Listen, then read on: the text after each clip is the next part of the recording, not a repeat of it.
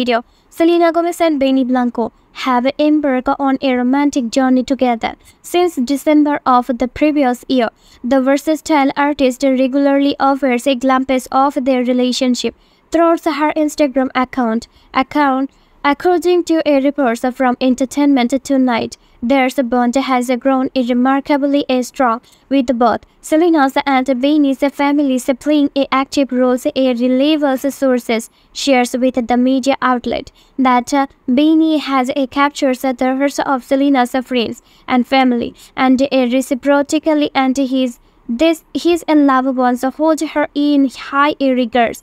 There's a deep and affectionate connection is evident to everyone and with both sides providing a unwavering support. Additionally, an insiders disclose that Selena and Benny have elevated their relationship to a serious level.